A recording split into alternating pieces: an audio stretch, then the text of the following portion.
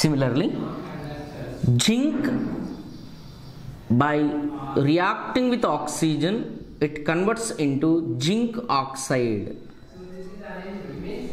So these are the metals which can react with oxygen to produce their respective oxides.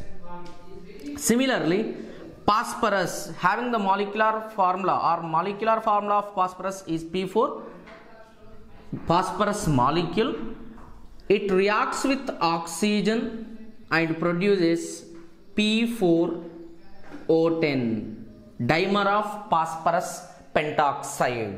Similarly, when oxygen participates combustion reaction with carbon dioxide, it sorry with carbon it releases carbon dioxide gas.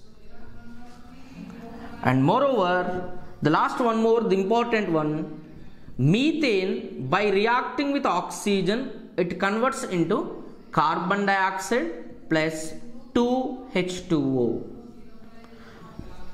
so this is what how the various metals and non-metals by reacting with oxygen they produces their respective oxides.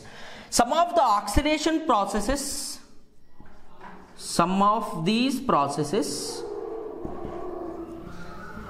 oxidation processes. May I know what is oxidation means? Addition of oxygen. So let us have a look onto the reactions to the calcium we are adding oxygen zinc adding oxygen carbon adding oxygen. In all the stated reactions above we are using or we are adding oxygen atom hence they are called as oxidation reactions. Like this some of these oxidation reactions takes place takes place in the presence of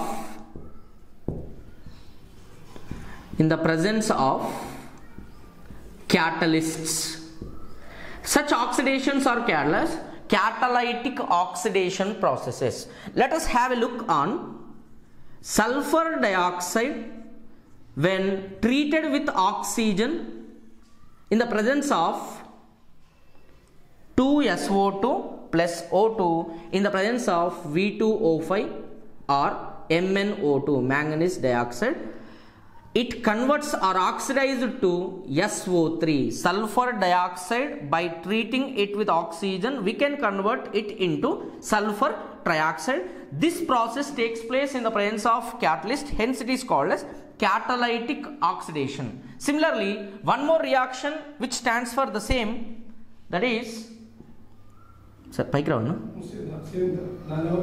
okay next one